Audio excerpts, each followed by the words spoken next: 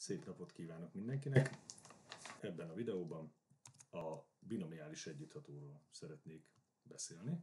Tehát a címünk a binomiális együttható.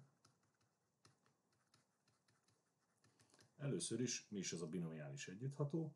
Ugye amikor megbeszéltük a binomiális tételt, aminek az alakja ugye a plusz b az n egyenlő n alatt a nulla szor a az n plusz n alatt az egyszer a az n minusz egyediken b, plusz n alatt a kettőször a az n minusz másodikon b a másodikon, plusz pont, pont, pont, plusz n alatt az n b az n-ediken, ugye itt n eleme n plusz, akkor ebben a kifejezésben szerepelnek itt a hatványok előtt ugye különböző számok, tehát az n alatt a 0, az n alatt az 1, az n alatt a 2, és így tovább.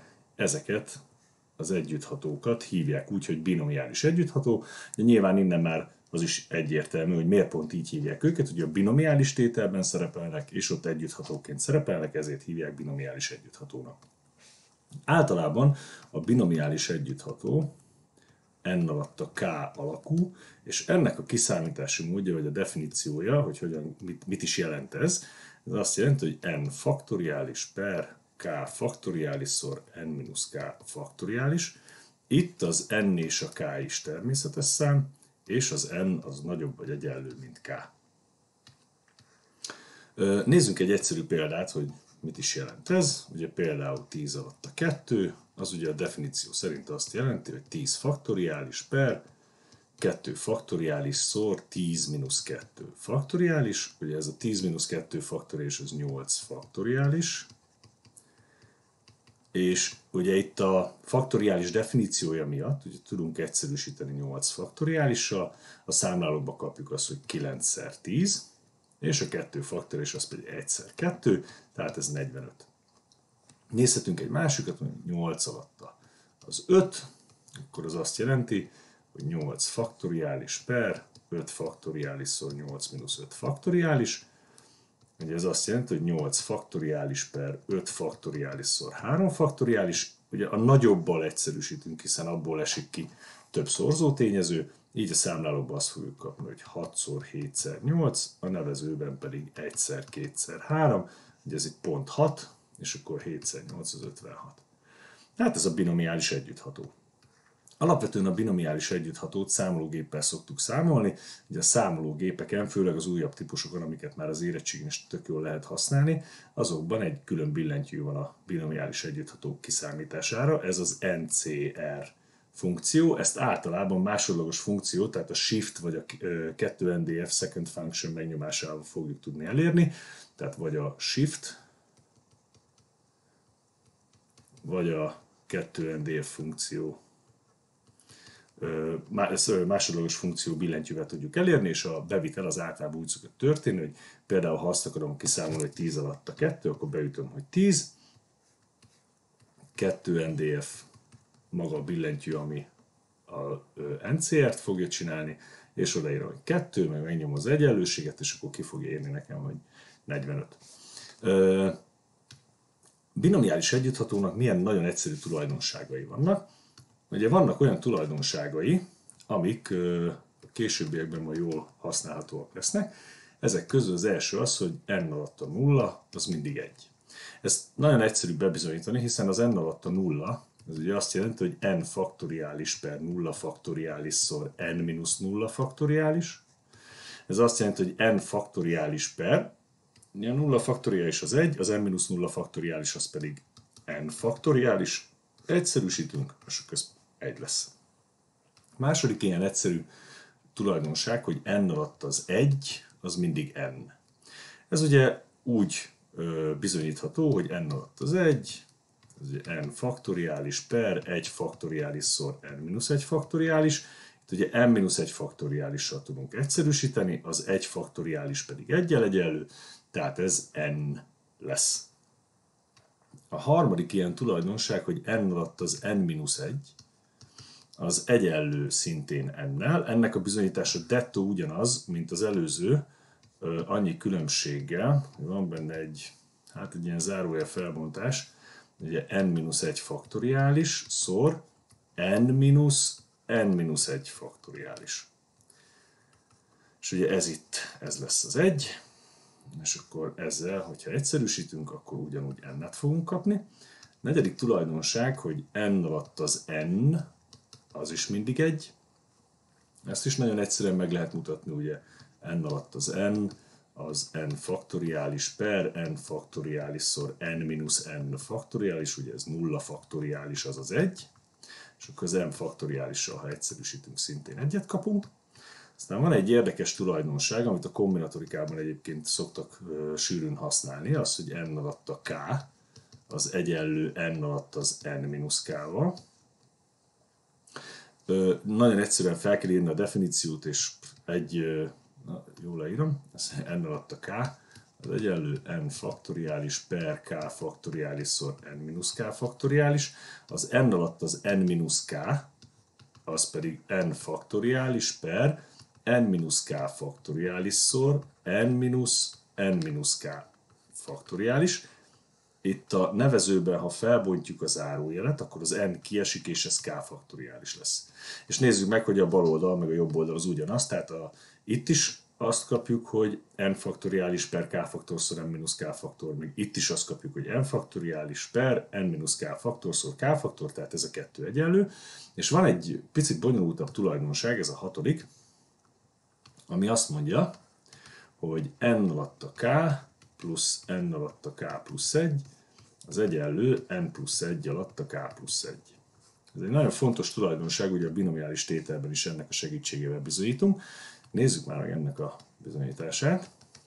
Ugye induljunk ki a bal oldalból, n alatt a k plusz n alatt a k plusz 1, az egyenlő és akkor nézzük, hogy a definíció szerint ez n faktoriális per k faktoriális szor n minusz k faktoriális plusz n faktoriális per k plusz 1 faktoriális szorozva n minusz k plusz 1 faktoriális. Itt egy picit alakítsuk főleg a második törtnek a nevezőjét, ugye n faktoriális per k faktoriális szor n minusz k faktoriális plusz n faktoriális per k plusz 1 faktoriális szorozva n-k-1 faktoriálissal.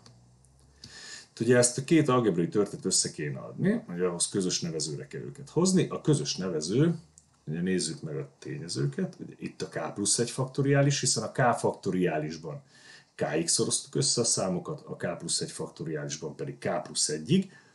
Éppen ezért ugye ebben a másodikban szerepelnek ugyanazok a szorzó tényezők, mint az elsőben, csak van egy plusz szorzó tényező, a k plusz 1, a másik kettőnél pedig,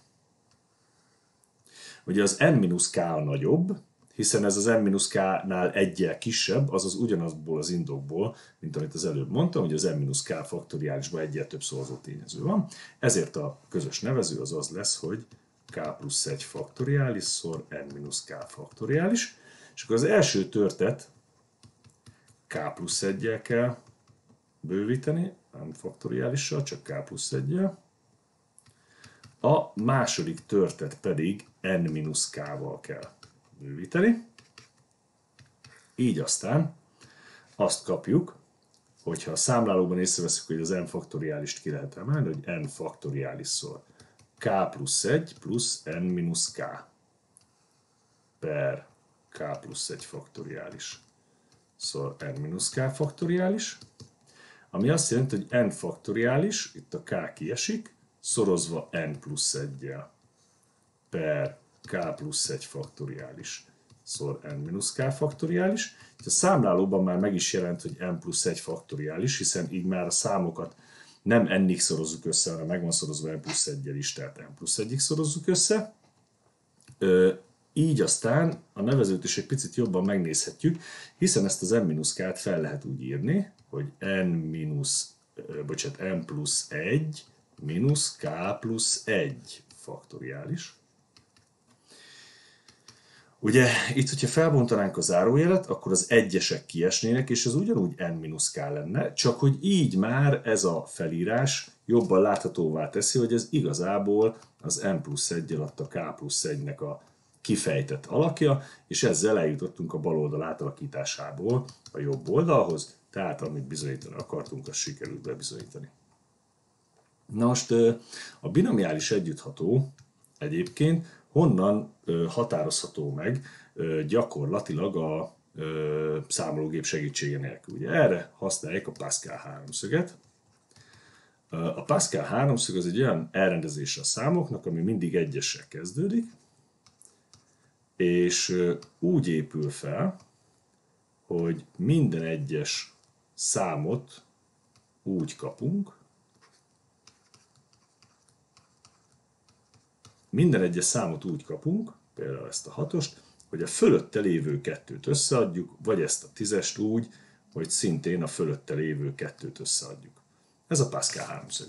Most a Pascal háromszög egyébként írható, felírható úgy is, hogy 0 alatt a 0, 1 alatt a 0, 1 alatt az 1, 2 alatt a 0, 2 alatt az 1, 2 alatt a 2, 3 alatt a 0, 3 alatt az 1, 3 alatt a 2, 3 alatt a 3, 4 alatt a 0, 4 alatt az 1, 4 alatt a 2, 4 alatt a 3, 4 alatt a 4, és így tovább, ugye nyilván mind a kettőt lehet tovább folytatni, és akkor ezzel azt tudjuk mondani, hogy a Pascal háromszögben, Pascal háromszög segítségével gyakorlatilag meg tudjuk mondani, hogy mik a együtthatók. Például, ha azt mondom, hogy 4 alatt a 2, Ugye ezt hívják úgy, hogy nulladik sor, első sor, éppen ezért ez ugye negyedik sor, tehát 1, 2, 0, 1, 2, 3 a negyedik sorról beszélünk, és ott balról a harmadik elem, tehát ez az elem, ez azt jelenti, hogy a 4 alatt a 2, a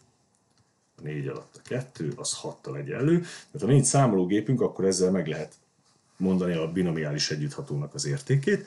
És még egy nagyon fontos dolog, hogy az a állítás, mint az előbb bizonyítottunk, tehát hogy az n alatt a k plusz n alatt a k plusz 1, az egyenlő n plusz 1 alatt a k plusz 1, ez igazából a ö, Pascal háromszögnek a képzési szabálya, hiszen gyakorlatilag ezt csináltuk, hogy n alatt a k, plusz n alatt a k plusz 1, ha ezt a kettőt összeadom, akkor n plusz 1 alatt a k plusz 1-et fogok kapni, tehát ezt hívják úgy, hogy a Pascal háromszög képzési szabálya. Hát, ennyit szerettem volna bemutatni a binomiális együtthatóról. Köszönöm szépen!